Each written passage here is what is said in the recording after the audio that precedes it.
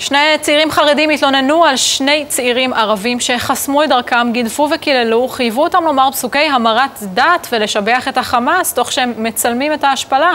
הנה מה שאמר לנו שמעון, שם בדוי. בשבת האחרונה לפנות בוקר, בשעה 4 ו-20 בערך, ירדנו אני ואחי מכיוון הכותל למעיין השילוח בסילואן, במטרה לטבול. בדרך לשם נתפללו לשני נערים ערביים ברחוב ואדי חלביה וחבטו באחי בראשו.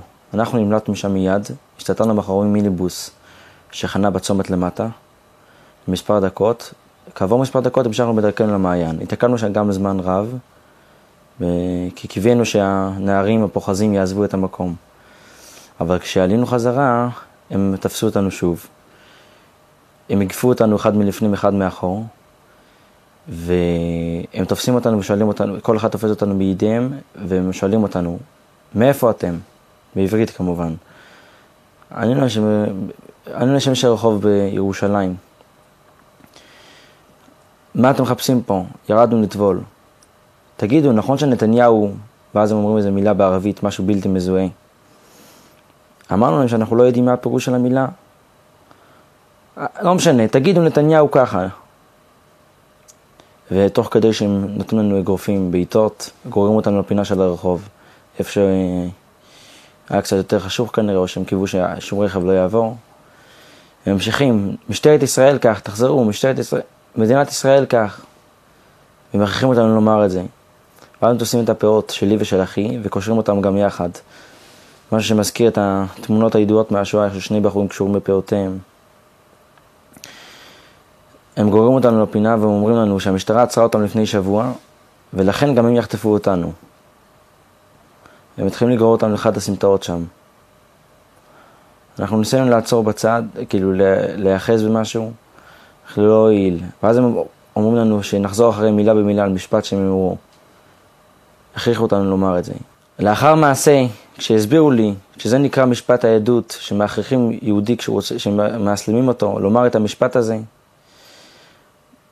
הרגשתי כזה תחושת שגועל, כזה צמרמורת עלתה בגבי. הרגשתי נורא עם עצמי, למרות שלא ידעתי מה שאמרתי. שעד היום, גם בשנת 2018, בתשע"ח, ייקחו יהודי בירושלים, בעיר הבירה, ויכריחו אותו לומר משפטים מעין אלו. אם, אם היה להם סכין ביד, הסיפור יכול להיגמר בצורה הרבה יותר קשה, הרבה יותר טרגית. הנה מה שאמר עורך הדין אה, חיים בלייכר, המייצג את החרדים. מדובר פה באירוע אנטישמי קשה, אירוע שאנחנו בעצם מראה על הסביבת גידול של אותם פורעים, אותם אה, פושעים שהם התחנכו בשנאה, בשנאה קשה, עם מוטיבים אנטישמיים קשים, קשרו להם את הפאות אחד לשני, אה, כופפו אותם עד שהם נשקו להם את הידיים, הכריחו אותם להגיד את הפסוקים של השהדה. של, של המתאסלמים. כן, פרשנים שלנו, מה יש לכם להגיד על, ה, על הסיפור, ארז, תפתח אתה. טוב, כל הביטחון האישי, אה, זה במזרח ירושלים או בשכונות, אה, שכונות תפר בירושלים, בגליל, בנגב, מילואימניקים בצאלים, בבסיסים. הביטחון האישי פה בשפל, משטרת ישראל מתעסקת ביחצנות, בכותרות גדולות, במאות שוטרים שטסים לכל רחבי העולם לגבות עדויות על קשקושים. וברחובות יש הפקרות, ואי אפשר להגיד שזה אפשר גם וגם, אי אפשר גם וגם. ומי שבוחר אה, להשקיע את כל המאמצים בחקירות תקשורתיות, בסופו של דבר אין לו מספיק משאבים להשקיע אה, גם באכיפת חוק, וגם המשטרה, וגם אה, בתי המשפט שמקלים בעונשים ומשחררים אחרי עונשים מגוחכים את מיידי האבנים והפורעים שכן נתפסים וכן נעצרים, עד שפעם ב...